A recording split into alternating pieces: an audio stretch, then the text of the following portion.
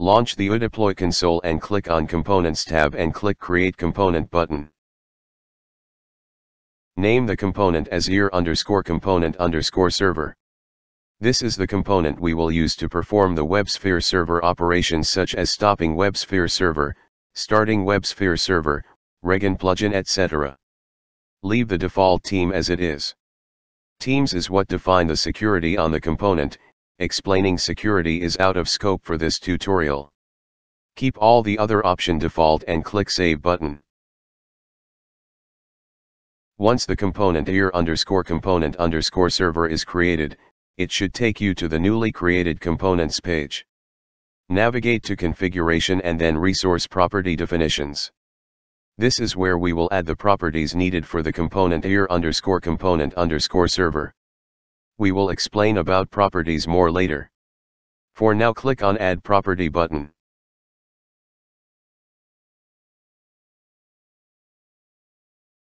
Name the property as WebSphere.server and select the checkbox required. This checkbox enable to prompt for the property value when this component is added to different resources.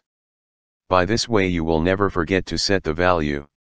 Provide the default value as your WebSphere server name, in our case server underscore ear. You can leave the default value empty as well. In that case you need to provide the value on each resource this component is added. If you have the WebSphere server name different across your agents, then it is best to leave the value empty.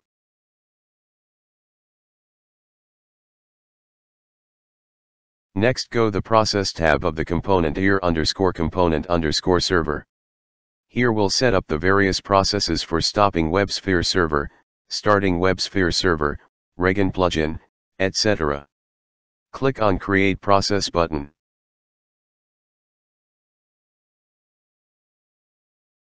Name the process as stop application server and change the process type to operation, no version needed.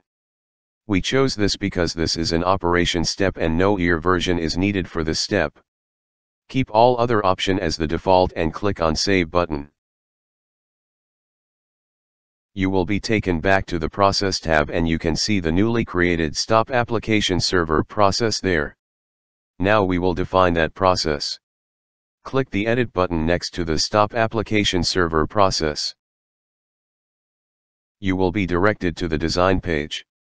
By default start is the beginning of the flow and finish is the end of flow.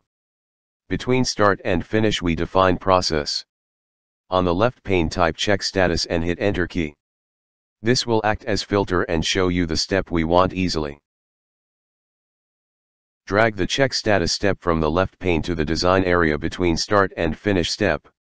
This will open the properties of check status step. Keep all the option default and click OK. Back on the design page, on the left pane type stop server and hit enter key. Drag the stop server step from the left pane to the design area under check status and before finish step. This will open the properties of stop server step. Keep all the option default and click OK. Now connect the design as in the diagram. Hold the mouse left button on the start step and drag to check status step. A line is drawn. Now pull a line from check status to stop server and then from stop server to finish. Lastly connect check status and finish, but this time click on the green tick on the line and it will show run on failure. So first the check status step runs and find if WebSphere application server is running or not, if it is running then output of that step is success and proceeds for stop server step. If WebSphere application server is not running then check status output is failure and the flow ends there. Lastly click Save button on the left pane to save the design. Back on the Process tab of ear underscore component underscore server component, click on Create Process button. Name the process as Start Application Server. Change the process type to Operation, no version needed. Keep all other options as the default and click Save button. You will be taken back to the Process tab and you can see the newly created Start Application Server process there. Click the Edit button next to the Start Application Server process. You will be directed to the design page. On the left pane type Start Server and hit Enter key. Drag the Start Server step from the left pane to the design area between Start and Finish step. This will open the properties of Check Status step. Keep all the option default and click OK. Now connect the design as in the diagram. Lastly click Save button on the left pane to save the design. Back on the Process tab of ear underscore component underscore server component, click on Create Process. Name the process as Stop IHS. Change the process type to Operation, no version needed. Keep all other options as the default and click Save. You will be taken back to the Process tab and you can see the newly created Stop IHS process there. Now we will define that process. Click the Edit button next to the Stop IHS process. You will be directed to the design page. On the left pane type shell and hit Enter key. Drag the shell step from the left pane to the design area between Start and Finish step. This will open the properties of shell step. Name the step as Stop IHS. Directory offset to be set as dot. Provide below in the shell script box, cd slash dollar py space slash admin slash bin slash slash stop was p base h. Keep all the options default and click OK. Shell step is basically a Linux terminal. Anything we run on a Linux terminal can be run from here too. Note that we kept $py space, this is a variable which we will be defining when we add the resource. Now connect the design as in the diagram. Lastly click Save on the left pane to save the design. Back on the Process tab of ear underscore component underscore server component, click on Create Process. Name the process as Start IHS. Change the process type to Operation, no version needed. Keep all other options as the default and click Save you will be taken back to the Process tab and you can see the newly created Start IHS process there. Now we will define that process. Click the Edit button next to the Start IHS process. You will be directed to the design page. On the left pane type shell and hit Enter key. Drag the shell step from the left pane to the design area between Start and Finish step. This will open the properties of shell step. Name the step as start IHS. Directory offset to be set as dot. Provide below in the shell script box, cd slash dollar py space slash admin slash bin slash slash start was p base h. Keep all the options default and click OK. Shell step is basically a Linux terminal. Anything we run on a Linux terminal can be run from here too.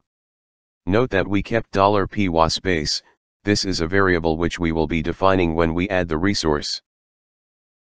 Now connect the design as in the diagram. Lastly click Save button on the left pane to save the design. Back on the Process tab of ear underscore component underscore server component, click on Create Process. Name the process as Regenerate plugin. Change the process type to Operation, no version needed. Keep all other options as the default and click Save. You will be taken back to the Process tab and you can see the newly created Regenerate plugin process there. Now we will define that process. Click the Edit button next to the Regenerate plugin process. You will be directed to the design page. On the left pane type Generate plugin and hit Enter key. Drag the Generate plugin step from the left to the design area between Start and Finish step.